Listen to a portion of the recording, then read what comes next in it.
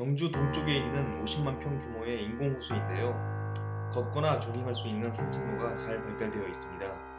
특히 일몰 석양이 아름다워 저녁마다 많은 사람들이 찾고 있습니다.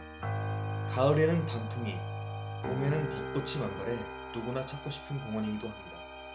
봄은 관광단지에 숙박하시면 저녁 식사 후 가족들과 함께 산책해 보시는 것